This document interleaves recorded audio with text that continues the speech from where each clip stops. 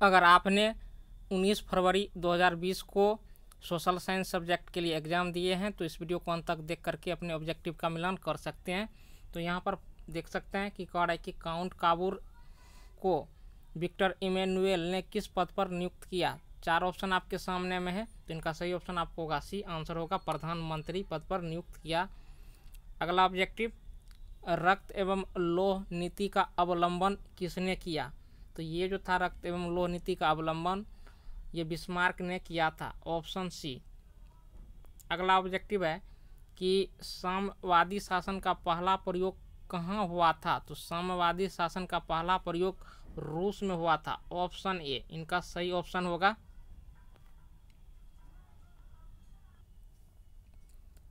अगला ऑब्जेक्टिव है कौड़ा की बोल्शेविक क्रांति कब हुई? तो ये नवंबर 1917 ईस्वी में हुई थी। ऑप्शन बी ऑब्जेक्टिव नंबर पाँच कौड़ा की हिंद चीन पहुँचने वाले प्रथम व्यापारी कौन थे? तो हिंद चीन पहुँचने वाले प्रथम व्यापारी पुर्तगाली थे ऑप्शन सी अगला ऑब्जेक्टिव हम देखते हैं। अगला ऑब्जेक्टिव है कि स्व विनय अवज्ञा आंदोलन कब शुरू हुआ? तो ये स्व विनय अवज्ञा आंदोलन आपको 1930 ईस्वी में शुरू हुआ था। ऑप्शन बी इनका सही आंसर होगा। अगला ऑब्जेक्टिव है कह रहा है कि राउरकेला लो उस्पात उद्योग है। तो ये उड़ीसा में है तो इनका सही ऑप्शन आपको होगा। ए आंसर होगा उड़ीसा। अगला ऑब्जेक्टिव है कि कह रहा है कि सामंती व्यवस्था से हटकर किस प्रकार की शहरी व्यवस्था की प्रवृत्ति बढ़ी है। तो इनका सही ऑप्शन आपको होगा। ए आंसर होगा प्रगतिशील व्यवस्था। अब हम अगले ऑब्जेक्टिव को देखते हैं। कह रहा है कि अगला ऑब्जेक्टिव कह रहा है कि द्वितीय विश्व युद्ध के बाद यूरोप में कौन सी संस्था का उदय आर्थिक दुष्प्रभावों को समाप्त करने के लिए हुआ? तो नो का सही ऑप्शन आपको होगा। डी आंसर होगा यूरोपीय संघ। अगला ऑब्जेक्टिव है, कह रहा है कि किसने कहा कि मुद्रण ईश्वर की दी हुई महानतम देन है?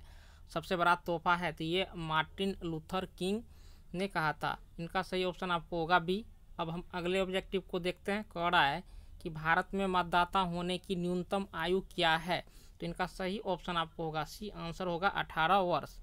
अगले हम ऑब्जेक्टिव की हम बात करते हैं कि भारत में किस प्रकार की शासन प्रणाली है? तो भारत में संघीय और संसदीय शासन प्रणाली है तो इनका सही ऑप्शन आपको होगा बी। अगला ऑब्जेक्टिव है रहा है कि संघ राज की विशेषता नहीं है। देखिए, संघ राज की विशेषता आपको इकहरी शासन व्यवस्था नहीं होता है। इनका सही ऑप्शन आपको होगा सी अगला ऑब्जेक्टिव है, कह रहा है कि संघ सरकार का उदाहरण है। तो संघ सरकार का उदाहरण आपको ये ब्रिटेन है। चौदह का सही ऑप्शन आपको होगा सी आंसर होगा ब्रिटेन ऑब्जेक्टिव नंबर पंद्रह, कह रहा है कि बिहार में संपूर्ण क्रांति का नेतृत्व निम्नलिखित में से किसने किया? तो इनका सही ऑप्शन आपको होगा डी आंसर होगा जयप्रकाश नारायण। अब हम अगले ऑब्जेक्टिव को देखते हैं। तो यहाँ पर ऑब्जेक्टिव है, कह रहा है कि लोकतांत्रिक व्यवस्थाओं में निम्नांकित किन मुद्दे पर सफलता पाई है?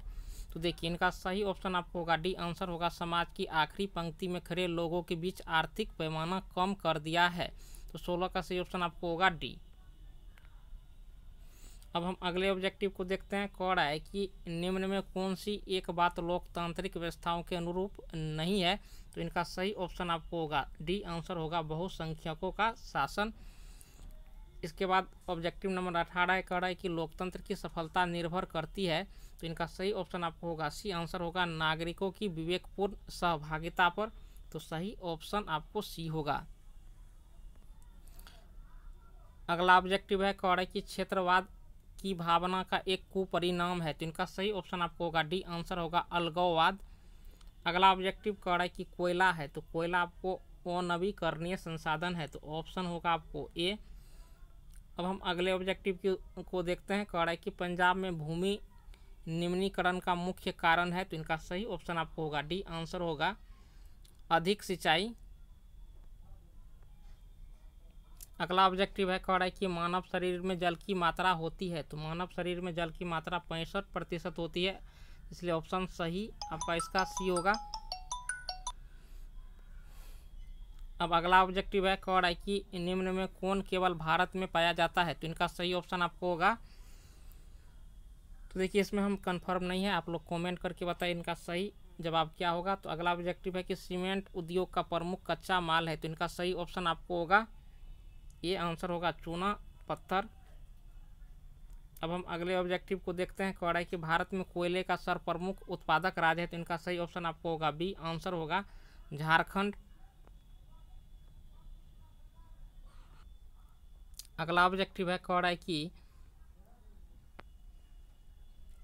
भारत का प्रथम लो इस्पात उद्योग है तो इनका सही ऑप्शन आपको होगा बी आंसर होगा टाटा लो और इस्पात कंपनी ऑप्शन बी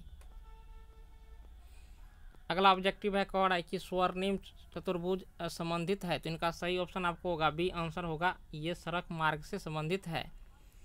अब अगला ऑब्जेक्टिव रहा है कि गंडक परियोजना है। तो इनका सही ऑप्शन आपको होगा बी आंसर होगा, वाल्मीकि नगर में गंडक परियोजना है।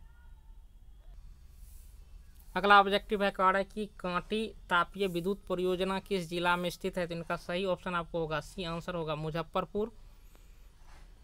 अगला ऑब्जेक्टिव कह रहा है कि रेलवे वर्कशॉप कहाँ स्थित है? तो इनका सही ऑप्शन आपको होगा। ए आंसर होगा जमालपुर।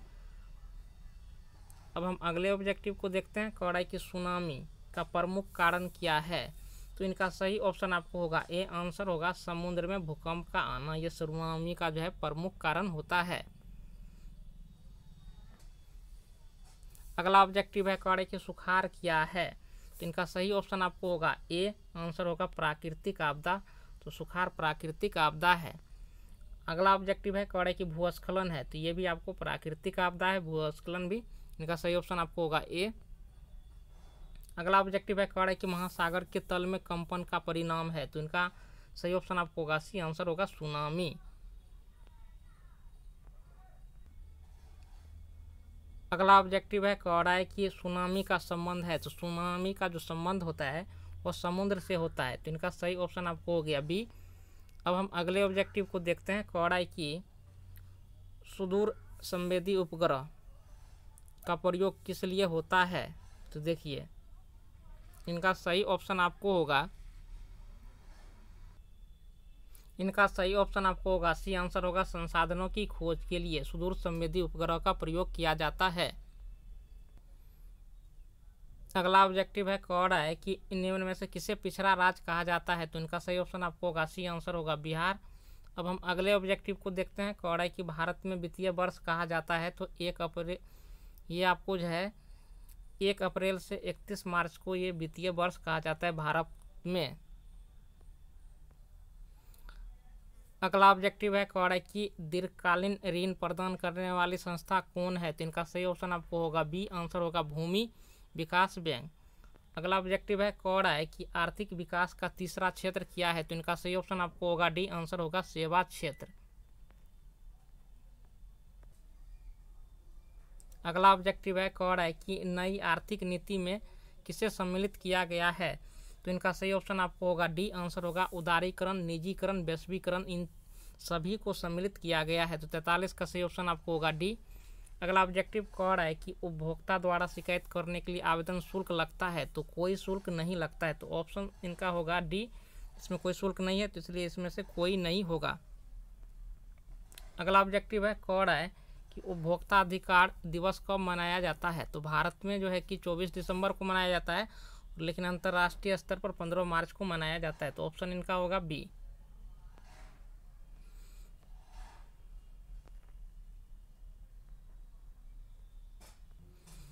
अगला ऑब्जेक्टिव है रहा है कि कौन सी गैर सरकारी सेवा है? तो इनका सही ऑप्शन आपको होगा सी आंसर होगा, मॉल सेवा। अब हम बात अगले ऑब्जेक्टिव की करते हैं। ऑब्जेक्टिव नंबर अड़तालीस रहे कि भारत की वित्तीय राजधानी किसे कहा गया है? तो इनका सही ऑप्शन आपको होगा ए आंसर होगा, मुंबई को। तो इस प्रकार से आपने यहाँ पर सभी अड़तालीस ऑब्जेक्टिव का सही आंसर की जाना।